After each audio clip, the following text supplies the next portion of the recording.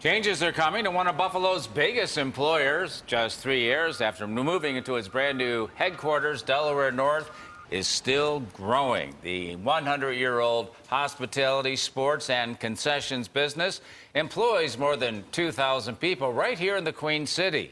And a new business strategy means changes for some of them. News 4's Chris Horvatits asked the CEO about the future of these jobs. Chris? Hi, Jackie. In so many words, Louis Jacobs did give me the assurance uh, that jobs would be growing here. However, in line with this new business strategy, the company has actually dissolved 27 jobs. Some of those people are being rehired, though, as the company looks to grow.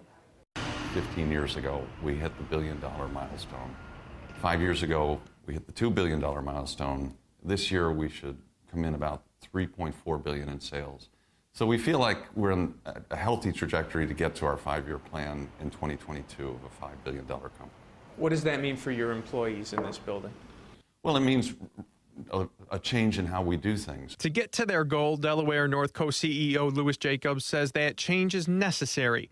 The company's executive vice president and chief financial officer Chris Feeney explained how to get there. We're trying to better enable our uh, how we take advantage of technology and kind of move routine tasks to automation where we can. Of the 27 people who have had their jobs eliminated, Feeney says four have retired, 13 have been offered other jobs, and 10 more are undergoing training with the hope that they'll be able to apply for other jobs. No promises, though. Of course, there's you know change. Change is always hard.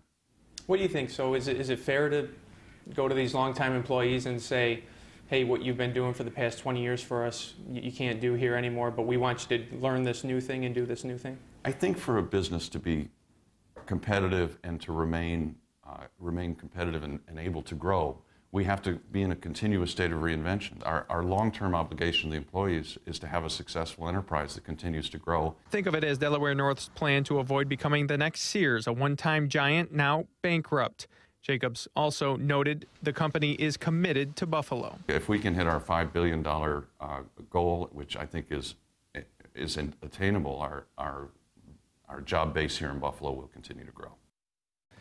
This is a company which has expanded its presence, in, uh, its presence that is in sports stadiums and airports in recent years.